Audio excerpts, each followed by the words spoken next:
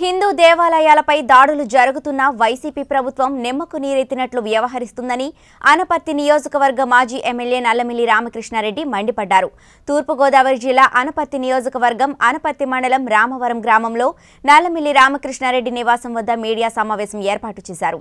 ఈ సందర్భంగా మాజీ ఎమ్మెల్యే నల్లమిల్లి మాట్లాడుతూ రాష్ట్రంలో ధార్మిక సంస్థలపై హిందూ దేవాలయాలపై దాడులు రోజురోజుకి పెరుగుతున్నాయని మండిపడ్డారు. పీఠాపురంలో విగ్రహాలు ధ్వంసం నిన్న రామతీర్థం అలాగే రాజమహేంద్రవరం సుబ్రహ్మణ్యేశ్వర స్వామి విగ్రహం ధ్వంసం చేయడం విజయవాడలో సీతారామ మందిరంలో సీతమ్మవారి విగ్రహం ధ్వంసం చేయడం వంటివి రాష్ట్రంలో ఇప్పటి వరకు నూట ఇరవై ఎనిమిది సంఘటనలు జరిగాయన్నారు. నలభై ఏళ్ళ రాజకీయ అనుభవం ఉన్న చంద్రబాబు రామతీర్థాలను పర్యటించడానికి వెళ్తే అడ్డుకోవడం దారుణమని అన్నారు. అనే అనేక కేసులలో ఏటూగా ఉన్న విజయసాయిరెడ్డికి అక్కడేం పని అని ఇది కేవలం మత విద్వేషాలు రెచ్చగొట్టడానికేనన్నారు. ఇన్ని సంఘటనలు జరుగుతున్నా ప్రభుత్వం వైఫల్యం వలనే ఇంతవరకు దోషులను పట్టుకోలేదన్నారు. దేవాదాయ శాఖ మంత్రి వెల్లంపల్లి శ్రీనివాసరావు బాధ్యతారాహిత్యం వలనే దేవాలయాలపై దాడులు పునరావృతమవుతున్నాయని విమర్శించారు. దేవాదాయ శాఖ మంత్రి వెల్లంపల్లి శ్రీనివాసరావు హోం మినిస్టర్ మేకతోటి సుచరితలు ఈ సంఘటనలపై బాధ్యత వహిస్తూ రాజీనామా చేయాలని డిమాండ్ చేశారు సంఘటనను పరిశీలించడం కోసం నిన్న రామతీర్థం వెళ్తూ ఉంటే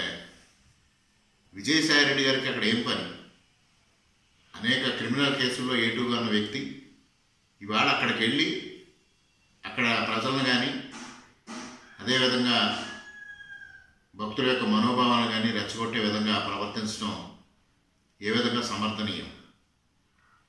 నిన్న జరిగిన సంఘటనలకి చంద్రబాబు నాయుడు గారిని అడ్డు అడుగడుగున పోలీసులు అడ్డుకోవడం అదేవిధంగా నిన్న అశోక్ గజపతిరాజు గారిని రామతీర్థం అదేవిధంగా మంతపల్లి ఇతర దేవాలయాల్లో ధర్మకర్తగా తొలగించడం చాలా దుర్మార్గమైన విషయం. మరి దేవాదాయ శాఖ మంత్రి వెల్లంపల్లి శ్రీనివాస్ గారికి దేవాదాయ శాఖ వ్యవహారాల పట్ల పైన హిందువుల మనోభావాల పట్ల పైన అవగాహన ఉందో లేదో తెలియదు కానీ ఆయన వ్యవహరించే విధానం మాత్రం చాలా దుర్మార్గంగా ఉంది. ఇవాళ అసలు అశోక్ గజపతిరాజు గారిని కానీ అశోక్ గజపతిరాజు గారి కుటుంబాన్ని కానీ విమర్శించే స్థాయి కానీ అర్హత కానీ వెల్లంపల్లి శ్రీనివాస్ గారికి కానీ ఇతర వైసీపీ నాయకులకు కానీ ఈ రాష్ట్రంలో కానీ దేశంలో కానీ ఏ వ్యక్తికి లేదు.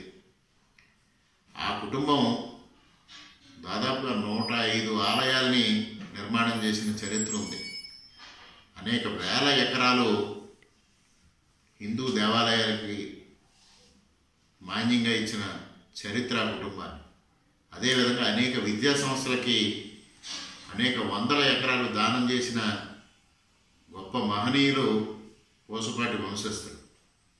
ఇవాళ ఈ రామతీర్థం కొండని తీసుకుంటే పదహారవ శతాబ్దంలో అక్కడ కోదండరాముని ఆలయం నిర్మాణం చేసినట్టుగా మనకి తెలుస్తూ ఉంది చరిత్రను బట్టి. అక్కడ పోసుపాటి సీతారామచంద్ర మహారాజు అనే పోసుపాటి వంశీయులు ఆ రోజున ఆ నిర్మాణం చేపట్టడం జరిగింది. ద్వాపర యుగం నుంచి కూడా ఆ ఆలయం అక్కడ ఉన్నట్టుగా కూడా చరిత్ర చెబుతూ ఉంది. ఇది ఉత్తరాంధ్రకి ఒక అయోధ్య మాదిరిగా అక్కడ విలసిల్తున్న క్షేత్రం. అటువంటి క్షేత్రంలో ఒక దుర్మార్గమైన చర్యకి దుండగులు పాల్పడితే ఈ వాటి వరకు ప్రభుత్వం వాడిని నిందితులను పట్టుకోలేని పరిస్థితి.